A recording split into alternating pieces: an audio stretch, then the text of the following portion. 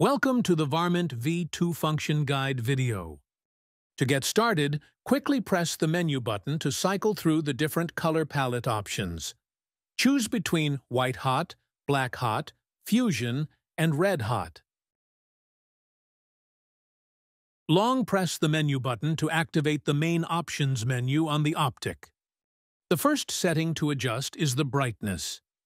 This determines how bright the screen on your Optic is. Use the menu button to select, and the scroll wheel to adjust the brightness until it suits your preference.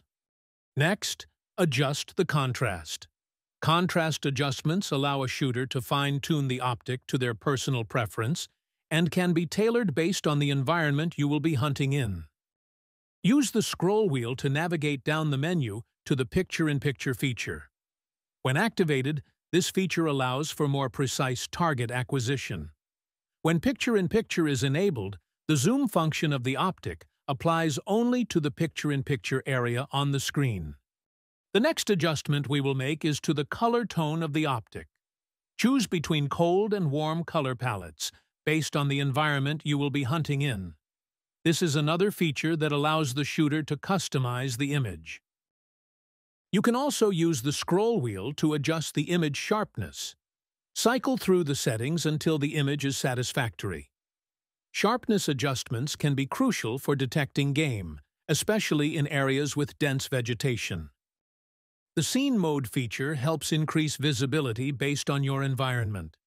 Cycle through the options until you find the mode that best suits your surroundings. This can be especially helpful when transitioning from a rural to an urban setting. The zeroing profiles feature allows you to toggle between different zero positions and options. The optic is capable of storing up to 25 different zero coordinates.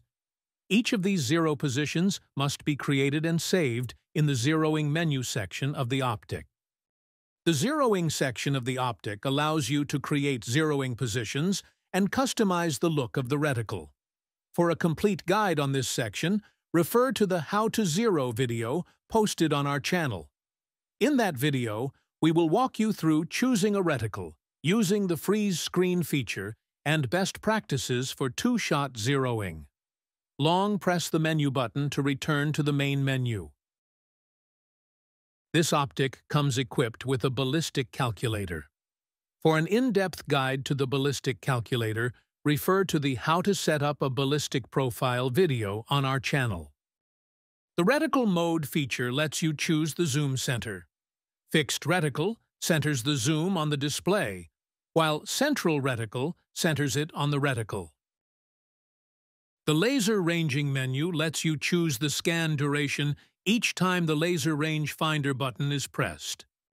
The Network menu allows the shooter to activate the Wi-Fi hotspot on the optic. Activating the pre-record feature ensures the optic automatically records 10 seconds before and after a shot. You can also choose to activate audio recording for your optic. If you only want the video, turn off audio recording. When the hot tracking feature is activated, a cross will appear on the hottest part of the screen. This can be useful for detecting game in areas with multiple heat signatures. The function menu allows the shooter to customize various technical aspects of the optic. The OSD or on-screen display menu section allows the shooter to select what information is shown on the display. In the brand logo section, the AGM logo can be toggled on and off. Image calibration determines how often your device refreshes or nukes. It can be done manually or automatically. Dead pixel correction is used to refresh a single pixel that may not be refreshing automatically. Burn prevention helps protect your device from damage. We recommend keeping it turned on. The General Settings menu allows the shooter to choose a language, set the time and date using the Select button and scroll wheel.